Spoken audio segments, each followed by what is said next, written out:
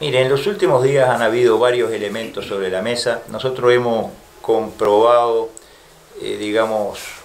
una virulencia inusitada, una presión totalmente indebida sobre los senadores para que voten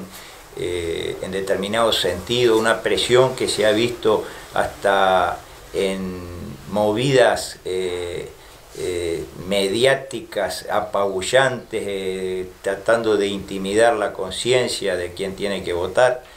Nosotros dijimos bien claro desde el principio que eh, esta causa se formó politizadamente, se formó con intenciones de sacarnos de la campaña política el año pasado y ahora estamos percibiendo que claramente tiene la intención de sacarnos del Senado. nosotros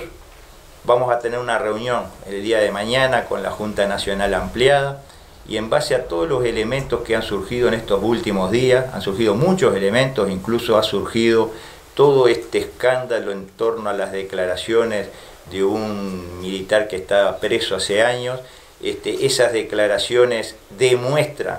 que quienes actuaron desde el máximo, los máximos niveles de gobierno, desde la presidencia de la República, hicieron exactamente lo mismo hace 14 años que lo que hicieron en el caso que a mí se me pretende eh, imputar. Yo tengo la certeza de haber actuado de acuerdo a lo que tenía que hacer y en base a determinadas consideraciones que no estaban arriba de la mesa hasta hace pocos días y están ahora, nosotros mañana vamos a tomar la decisión de qué es lo que vamos a hacer, pero por ahora no quiero adelantar porque no tengo decisión tomada. Sí es real que hay muchos elementos como la declaración de, todo, de toda nuestra bancada de diputados completa y muchas más y